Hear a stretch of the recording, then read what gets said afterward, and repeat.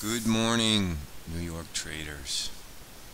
Privateer FX back with the opening call for the North American session. We got what we wanted at the European Open, but no follow through. As you can see, we traded up to 113.07, broke through that 113 the figure, but couldn't sustain it. And it moved back down to 80, and now we're 112.90 kind of in a holding pattern here, waiting to see what New York's going to do, waiting to see what the 10-year yield is going to do. We still like the dollar higher. We do not think this gap is going to get filled. And it's not really clear whether we should be adding through 08. So we're going to stand down there maybe look at this dollar Swiss, which is sort of the same trade. 94.48 and a half the high. The low since the high has been 21. We're kind of creeping back up there. So this looks like an interesting place maybe to add to small dollar longs, but here's the real 98.83 is really the point. It's a nice pivot, lots of clear air above. This would be a big focus for us for the rest of the week. Aussie we traded down to 80 back up to 09 basically filled the gap completely. We like Aussie lower but we're going to be patient here and either sell up in the 20 between 20 and 38 or sell on weakness if we get down through 78 and then again through weakness down through 50 gold is a nice little setup now kind of have like a sort of a Bart Simpson head and shoulders here. Down through 1271.30 uh, is worth a try. As we spoke about earlier, we have the 200-day moving average here.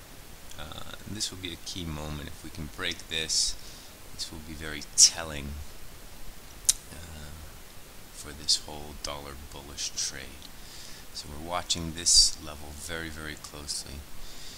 I think selling down through 71 and then adding through 67 and a half is, is the best way to do it. Um, but at the minimum, keep an eye keep an eye on those levels. Stocks, very, very unchanged in the European session. We're resting at the highs. And I'll leave you with one last trade idea, which is cable.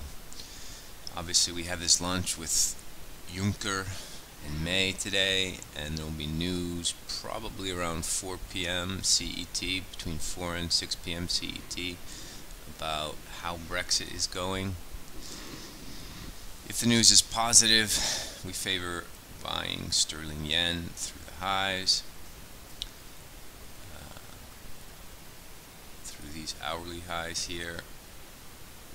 151.96. If the news is negative, we favor sort of just trying to smoke sterling sort of anywhere you can. I mean, it's not really going to matter if this if there's a screw up with this lunge and there's some sort of wrench, sterling is going to get punished. 19's been the low today, which ironically is the exact death knock of that daily trend line. Um, he'll have a lot of opportunities to sell because if this thing doesn't work, we feel like this is probably going to get down to 132.24. Chances are it will work, uh, but got to be looking both sides here. So we'll be looking out for headlines between 4 and 6 p.m. Central European time. What else is out there? Let's take a quick look at the Euro Sterling chart. Really not much to look at there. Kind of in consolidation mode. Will pull up the Sterling Swiss even though it's 100 points away. Going forward, this is an incredibly important level, 133.23. If you believe the dollar is going to go higher and we get some sort of positive Brexit, so cable higher and dollar Swiss higher, this level will come into play. This is very, very important on the longer term sterling Swiss chart. For those of us who have been watching this since it came down from 210, it's kind of exciting. Far away though right now, so just be patient. But keep this one in mind 133, 33. Easy to remember. Alright, I'll leave you with that. Uh, wish you good luck. We're trying to carefully accumulate dollars. We feel like this is going to be a grind higher for the rest of the week, and we're watching headlines out of the UK. Good luck out there. Talk to you soon. Ciao.